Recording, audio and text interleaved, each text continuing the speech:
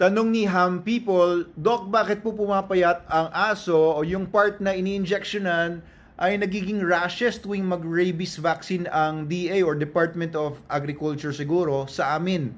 Sa private clinic wala naman. Hindi ko po alam, no? Um, I'm not familiar kung ano po yung ginagamit ng DA sa inyo, pero ito po kasi yung ano, yung kailangan kasing gawin dyan para maiwasan yung mga uh, rashes or yung infections kailangan bagong injection or bagong syringe, yung ginagamit pang injection, bagong syringe, bawat aso na ini-injectionan.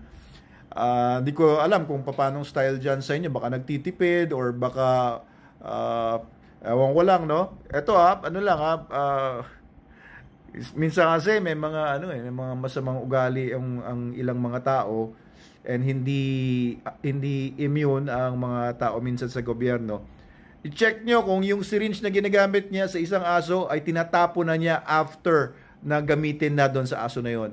Hindi pwedeng na pag in-inject mo yung isang aso ng anti-rabies, yun pa rin yung syringe na gagamitin mo sa ibang aso. I'm not saying this could this this is the case no, but this could happen.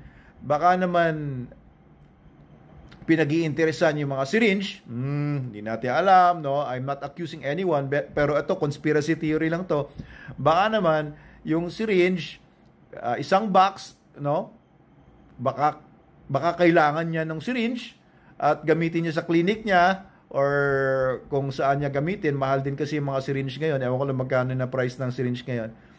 So, para makatipid siya, para maitabi niya yung mga ibang syringe, ay gamitin niya isang syringe doon sa mga asong papa-injection sa kanya sa mga mass vaccinations.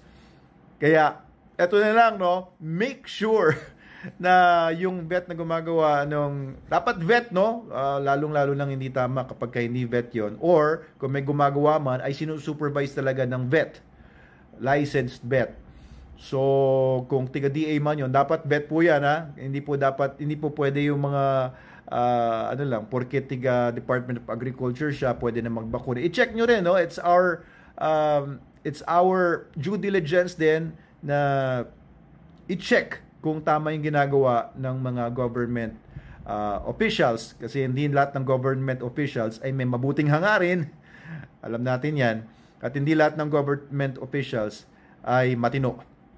Alright, so I'm not saying this is the case pero i-check nyo rin baka po ginagamit niya yung ano, yung syringe uh, lahat na lang ng mga asong binabakunahan niya.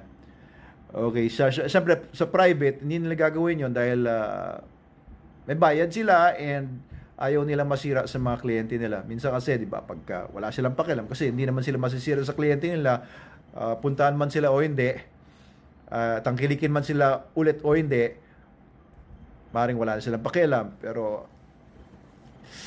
ayoko kasi mag-isip ng masama tungkol sa, ano, sa ibang tao. Pero, ano eh, uh, based on experience, you have to. You have to uh, uh, be careful din sa lahat ng mga nakakasalamuha mo and nakaka-transaction mo. Okay, ito pa. Uh, check nyo rin kung gumagamit ng alcohol kasi bago kasi magbakuna, mag-inject, alcoholin muna yung isang lugar ng kung saan babakunahan para mamatay muna yung mga germs doon para pag-inject ng syringe, yung mga bacteria doon sa ibabaw ng skin, hindi sasama sa syringe, papasok. Kasi pag pumasok yung papasok, maaaring mag-cause yan ng infection. Mag-in cause talaga yung infection. Kaya dapat i-disinfect muna yung lugar bago turukan. Okay, tignan nyo rin yung alcohol na ginagamit.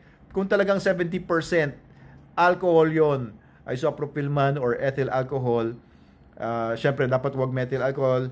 Uh, ano, and uh, hindi nalabnawan na sa tubig.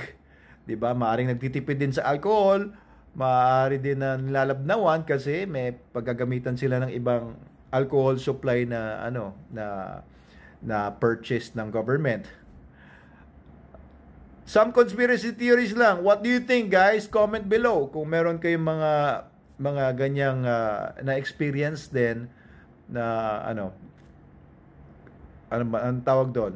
Mga corruption ba 'yon or pandaraya ng mga tao sa government?